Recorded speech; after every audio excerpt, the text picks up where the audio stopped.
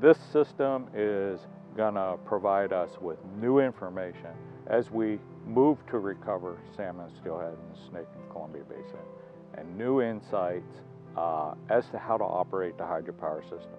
Uh, so the way the pit tag technology works is a tag is put inside the juvenile or adult salmon and steelhead.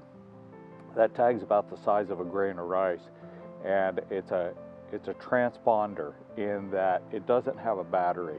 The way that it works is it, the tag passes through an electromagnetic field that then energizes that tag and then a microchip transmits the, a unique code for each tag.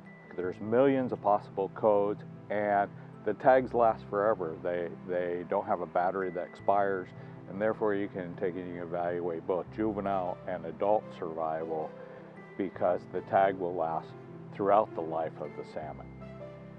So the benefit of this is that we can take and we can measure migration timing as well as we can use that information for how we're operating the hydropower system and other management applications to try and recover the endangered species that we have in the Columbia and the Snake River Basin.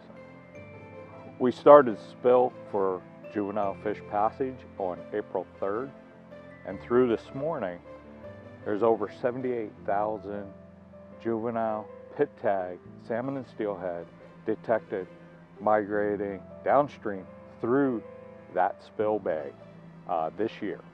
So it's during the month of April.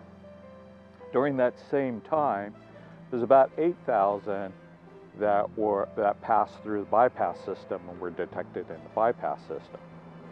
That's a tenfold increase in the number of juveniles passing Lower Granite Dam that were detected this year by this new system.